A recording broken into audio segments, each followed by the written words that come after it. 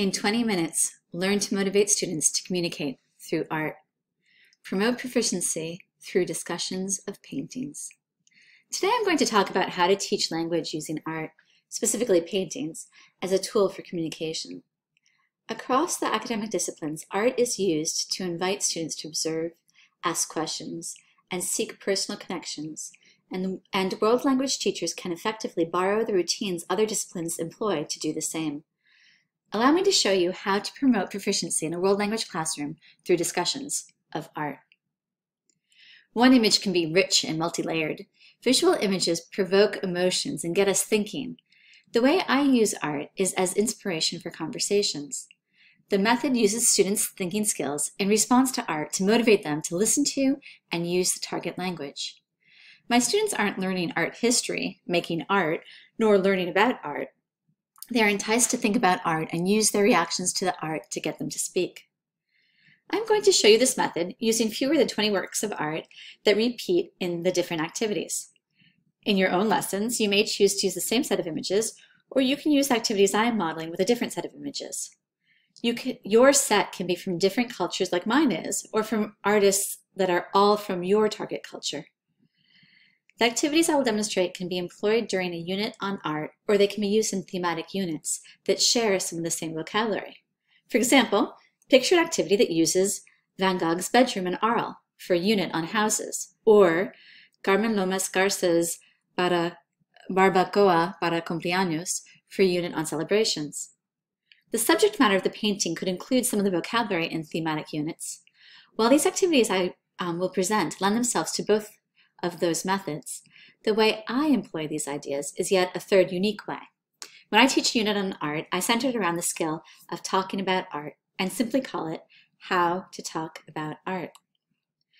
I wrote this unit to show you have to move your students from, to show you how to move your students from novice to intermediate low. Let's take a look together at the two levels. Here is the novice high interpersonal performance indicator from ACTFL. I can express, ask about, and react to preferences, feelings, or opinions about art, using simple sentences most of the time and asking questions to keep the conversation on topic. That is where your students are at the beginning of the unit for the theme of talking about art. My students in previous years of study were asked to express their emotions when looking at art. Maybe your students expressed, asked about, and reacted to preferences, feelings, or opinions about another topic that wasn't art. Once they can do this skill consistently across themes, they're ready to level up to the next proficiency level. So let's consider the intermediate low interpersonal performance indicator. I can express, ask about, and react with some details to preferences, feelings, or opinions on familiar topics by creating simple sentences and asking appropriate follow-up questions. Students will level up to intermediate low when they are able to speak with some details on the theme of talking about art. It is my intention that the other C that you are addressing in this unit is connections. Making connections. Learners build, reinforce, and expand their knowledge of other disciplines while using the language to develop critical thinking and to solve problems creatively. Students will be learning about visual thinking strategies, talking in the target language. I would recommend that you work with your visual arts specialist to see what the students have already done, or at the very least, let the visual arts specialist know that you will be making connections with art. To scaffold this unit, I first determined what language chunks students would need in order to be able to talk about art for the end of the unit assessment. Then I looked at the intended activities they would do along the way and made sure that these activities use the same vocabulary. With all of these considerations in mind, I was able to write a vocabulary list to preview the vocabulary for the unit. To make it manageable, I put into sections by task. This is the brainstormed list of vocabulary in English. A copy of it is in the shared resources that I will link to at the end of the presentation so that you can rely on it to make your own vocabulary list in the language that you teach. Many teachers teach without giving the students a vocabulary list. Students are responsible for being able to complete the task, not for specific words. I keep a list for myself to make sure that I introduce and repeat the needed structures for, the for my can-dos. When I want the students to have a vocabulary list, I have them generate a personalized list unique to that class. In this presentation, I will offer six activities for talking about art. Teacher talk, modeling, talking about art, gallery walk, describing works of art in a word, marker game, interpretive activity on what is depicted in the painting, see, think, wonder, stand up for your choice, analyzing images using art terms, presentational writing assessment, a review of a work of art. I built these activities in a particular order, including other solid practices for language learning, like modeling, movement, pair and group work, and thinking routines. It is not my intention that you run a unit the same way that I do. Instead, I'm trying to model the six activities so that you can rewrite them to suit your style and make them into your own unit. Most teachers include art in their instruction, and I am sure you will leverage the best way to bring art into your teaching. In the first activity, called Teacher Talk, I show students my interest in art and how to talk about art as I briefly describe four paintings. Like most of my units, this unit starts out with a teacher talk that gives students input on the theme at hand. I use the words they will later use themselves in activities I have planned for the unit. In a minute, I will show you how I use teacher talk in talking about paintings, but the way that I preview the vocabulary for doing that is to start with just one word. This is a technique that I use in every unit, and I'm happy to be able to share it with you in this presentation so that you can further develop your own method for introducing vocabulary. For this example, I am later going to talk about a painting that is one big mouth. So I start with the word mouth. When I first show the word, I make a gesture or act it out. With mouth, it is easy. I just point to my mouth. Then I ask the students to touch their heads, touch their shoulders, and touch their mouths, getting them to actively show me they understand the meaning. Next, I show a drawing. If I wasn't using slides, I could have written the word on the board in the last step, and now I could draw it myself. Some teachers translate this point, but I only use English if it is really necessary. I then use circumlocution with the word to give it more context. I talk about what you do with your mouth and where it is on your body. So now I model talking about art as I said I would. I thought it would be helpful for students to see the new vocabulary as I said it, so I wrote out the highlights of what I was going to say about each painting so that the students could have that visual support. It is my intention that the teacher would say more about the painting than just reading the slide. But for the students who need visual support, I want there to be the basic information in writing. I'm next going to talk about the gallery walk. To prepare for this activity, first I post pictures of paintings around the room, having prepared um, by printing one copy of each in color. Then I write describing words onto stickies. You can color code the stickies for each team. I like to put each team's set on its own sheet of computer paper, spread out so that they can all be seen at the same time. The students take the stickies and put them on the pictures that they decide correspond, discussing as a team. Next, I have the students read the stickies of others and put checks on the four total around the room that they agree with. To differentiate, ask the more proficient students to write four comments direct to, directly onto the stickies of different classmates. Things like, I agree, or that's right. Talk about the different works of art with everyone to, to debrief. Next, I will talk about the marker game.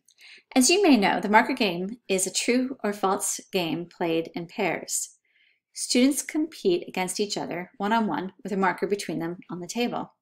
The teacher reads a statement. If the statement is true, the students grab the marker. The first student to grab it earns a point. If the statement is false, they do not touch the marker. If a student touches the marker for a false statement, his opponent gets a point. And students keep track of their own scores. In the materials that I will share with you at the end in the resources folder, there are copies of all of the activities I'm presenting. I have uploaded a copy of each in French and Spanish and in English so that you can rewrite it into the language you teach. A copy of the marker game that I have included has four rounds using four paintings. Allow me to read you one of the rounds. This painting is a landscape and then the students would have to decide if it was true or false. Let's continue. In the painting, there are three little girls. This is a self-portrait of Jean-Michel Basquiat, an artist from New York. The self-portrait is realistic. The colors of the painting are white, black, brown, red, and blue. Once you've played the marker game, you can have your students write their own true-false statements in pairs, as it is a good idea to have students do presentational writing over the course of a unit to practice their skills. To start, divide students into groups. Have each assigned to one of the paintings hanging in the room. Have them make five true or false statements about their painting. Then the teacher shows the painting at the front of the room, and the students in their groups take turns reading their true-false statements about the painting. In their journals, the other students write whether the statement is true or false. This brings us to the activity called See, Think, Wonder, a popular thinking routine that I first learned from Harvard's Project Zero. It is likely that you have used this graphic organizer before, but I want to help you improve upon your practice by telling you how I use it in this, at this particular point in the unit. As you see this visual, the handout has three columns. The first is to write down what the student sees. Our students are best able to describe concrete objects, and so this first step is to build confidence. And they have also heard me say what I see in works of art. This activity isn't just good because it is accessible. To start commenting on art by saying what you see is an established practice in art education. I had the opportunity at the, at the Boston Museum of Fine Arts to attend an introductory workshop to the technique of visual thinking strategy, where I was taught to start with asking students what they see in a work of art. It's a start to commenting on art, and the process warms up the students' observation skills and gets them thinking. What one person sees may be different than what the next person sees, so there are no wrong answers. What you see is personal. The teacher accepts all answers without evaluating them. In visual thinking strategy, the teacher repeats back what the student says they've seen by saying, so you see, and pointing at it in the painting. The second column in See Think Wonder is, of course, the I Think column. This is where students begin to interpret the work of art. They use what they observed to then make a commentary supported by the evidence of what they saw. The teacher can ask the question as they circulate around the room, what did you see that made you think that? The question is open to all answers and what students uh, and what the students personally interpret. According to visual thinking strategy, the teacher doesn't evaluate the student's interpretation. The teacher only asks what the student has seen that made them make that interpretation.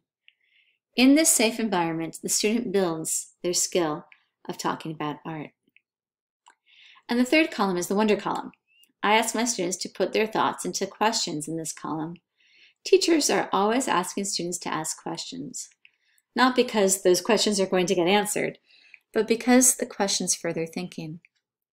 In the words from Project Zero's website, by encouraging students to wonder and ask questions, the routine stimulates curiosity and helps students reach for new connections.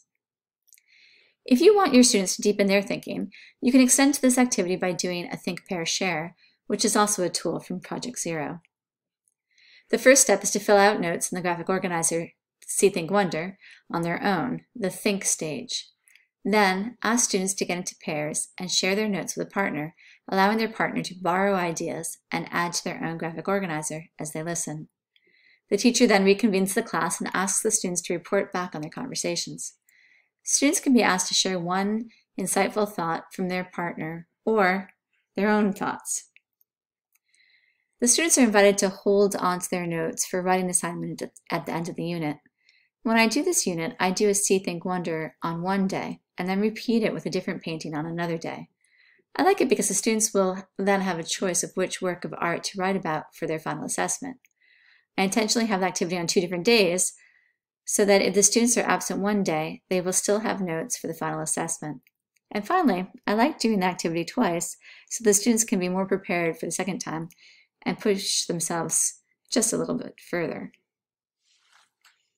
Stand up for your choice. At this point, the students have heard a lot of language about art through the teacher talk and then through the interpretive activity of the marker game. They also read the words on the stickies and decided which work of art matched. In addition, the students did um, presentational writing in their graphic organizer. called See Think Wonder. So now it is important to offer the next activity as an interpersonal activity. I mentioned this so that the teacher is aware of supporting spontaneous communication while doing this activity. Is intentional on my part to use mostly the same paintings that the class has already seen together, so the students can reuse vocabulary that they have already heard when talking about these works of art. I learned this activity at MAFLA 2018 with Emily Scheinberg from Boston's Museum of Fine Arts in her session on Teaching with Art in the World Languages Classroom, though I've changed the name of the activity. I call it Stand Up for Your Choice, and in this activity, students have four pictures in front of them and four characteristics of art. Each student can only pair one word with one picture, and they have to use all the words and all the pictures. This is going to mean that just like in the game Apples to Apples, if you know that game, there are going, there are going to be some pairings that are less than perfect. The communicative part of this activity is when they justify their pairings to the group and collaborate to decide on one answer that they can then present to the class. To set up, make one copy in color of the sheet with four paintings for each group and a set of terms for each student. Each round will use four terms, the same terms for every student. Go over the art terms for that round as a whole class, get students into groups, give students time to decide individually which art term they will pair with which picture. Have the students share and then give time for each student to justify why they match that term with that painting. The group needs to agree together on one answer by negotiating the choices in the target language. Each group will present their final answers to the rest of the class. Presentational Writing Assessment. For the final assessment, the students will have to fill out, they'll have to pull out their notes from the two attempts of See, Think, Wonder. The teacher projects the two works of art on the board, and the students choose one work to write about. Here is the assignment. Choose one of the two works of art and write a review about it. Include what is depicted in the work, your interpretation of the work, which characteristics of art were used in the composition, lines, hues, shapes, shadows, etc., and what questions you have when looking at that work of art. Before I conclude, I want to say a word about working social justice into an art unit. I've had a pretty easy time of working on representation when teaching art. You can lead students to think critically for themselves when talking about who is represented in the works that, they are, that, that are considered fine art. When social justice is woven through the unit, you don't want this to be just one activity, but an outlook as you present the unit. To that end, I've put together some images to get your students talking. They are in the resources folder, and I'm going to go over a few of them here. You can get the conversation started by showing this chart and asking students to converse with a partner about what they see and don't see in the works of art up around the room. That is a good starting place. Students who've been working on visual literacy will have a good start for making sense of this image. Whether or not your students do, ask them who they see here, what they are holding, and what emotion they are feeling and why. Then in the target language, you would explain to them who the Guerrilla Girls are. You might need to look them up first, but you can do that ahead of class. And show them a few pieces of their public service announcements. I have a couple examples in the next slides and more in the resources folder. I wrote this slide into French and Spanish. And this one as well. I think you get the idea of how to start a conversation with students on representation. Please see the full resource in the folder. The best work you can do is to lead your students to a conversation where they comment on representation themselves. No one wants a moral lecture from the teacher, um, but students can be led to do their own thinking. So now I'm at the conclusion of this presentation. I have shared many ideas here. Think about what you can make your own. Consider adding your next step in the comments to start a conversation with other teachers. In the resources folder, I have all the links you need to help you get started. The shortened URL for this folder is bit.ly backslash talk with art. Thanks for watching today. I hope this has been helpful. I will be sharing about how to use picture books in my next video. I hope to see you then.